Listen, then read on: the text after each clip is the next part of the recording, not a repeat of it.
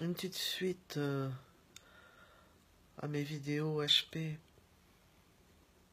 Vous savez, la majorité des gens, ils font quoi? Vous faites quoi? On fait quoi par éducation? Pas simplement par euh, limite ou absence de limite intellectuelle.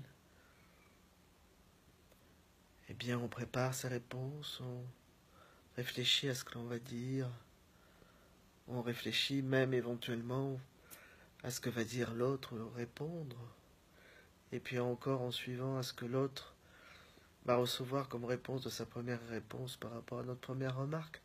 C'est un petit peu comme euh, dans les jeux d'échecs.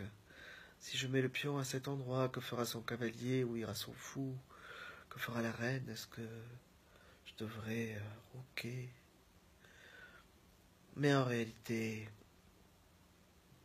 on ne parvient jamais de cette manière-là à la bonne solution aussi, peut-être dans les jeux d'échecs. Mais encore, sans doute que les plus grands joueurs d'échecs ont des réponses qui ne sont pas celles que l'on peut déjà avoir cartographiées, ni en statistiques. Il y a donc l'apprentissage et puis euh, la vie.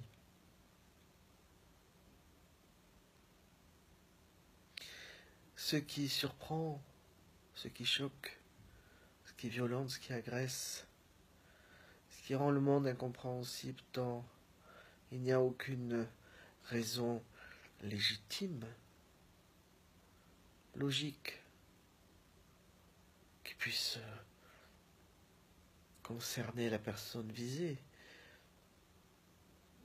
Quand il y a tout d'un coup une rupture de réalité parce que le réel y pénètre, ça veut dire quoi? Ça veut dire que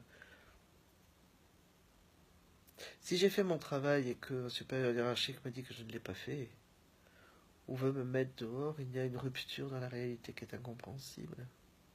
Parce qu'il y est légitime d'être puni, sanctionné, ou mis dehors si l'on n'a pas fait ce qu'il fallait. Mais si l'on a fait ce qu'il fallait, c'est une rupture inacceptable, d'incohérence totale.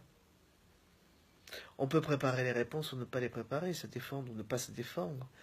Euh, envisager les coups suivants, ne pas les envisager, ça ne changera rien. Tant que le pouvoir ne change pas de main.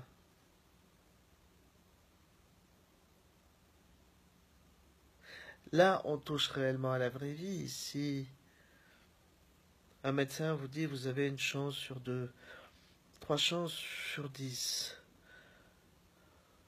de survivre, un cancer dans les cinq ans qui viennent. Il y a juste une seule possibilité. Si vous êtes du bon côté, eh bien les cinq chances de survivre n'auront servi à rien. Si vous êtes du mauvais côté, elles ne serviront à rien du tout. Si vous devez continuer à vivre, les cinq risques de mourir ne serviront pas davantage à quelque chose? Donc la statistique par rapport à la vie n'existe pas non plus. Soit on vit, soit on meurt. En réalité, c'est 100%. Un autre exemple plus léger, eh bien, sévère. Tout d'un coup, une question vous est posée, il faut trouver une réponse. Elle est imaginative, elle est tant plus imaginative et personnelle qu'il n'y en a pas de réponse. Ça peut être la réponse de chacun comme ça ne peut être que la réponse de chacun face à la mort, la réponse de chacun face à la folie humaine, la réponse de chacun face à un jeu imprévu. Donc, l'humanité dans son ensemble cherche à avoir des réponses à des questions qui en réalité n'en sont pas, pour ne plus avoir peur. Et s'il faut dire encore quelque chose des hauts potentiels, mais sûrement que ces quelques vidéos vont devenir autre chose. C'est qu'ils ne peuvent pas vivre comme ça dans un monde qui fonctionne comme ça. Donc ils peuvent perdre leur temps, leur énergie, leur intelligence à faire comme il faut qu'il soit fait. Ben, ou simplement être ce qu'ils sont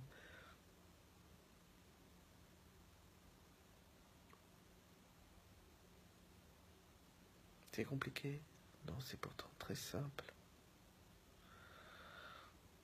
C'est pourtant très simple. Parce que c'est important de parler des hauts potentiels Peut-être qu'on n'en parle pas, qu'on parle pas assez. C'est quelque chose d'évident lorsqu'on parle par exemple d'Einstein, lui était un génie, qui était peut-être le haut potentiel des hauts potentiels. Il n'en demeure pas moins que son invention a servi à fabriquer la bombe la pire que l'humanité pu construire. C'est ça être HP. C'est pas ce qu'il voulait lui, mais c'est ce qu'on en a fait. Voilà, une petite réflexion du soir. Elle est pas drôle celle-là, elle est juste euh, pour essayer de donner un sens qui ne soit pas que drôle ou humoristique, c'est tenter que ces quelques vidéos l'aient été au propos. À plus tard.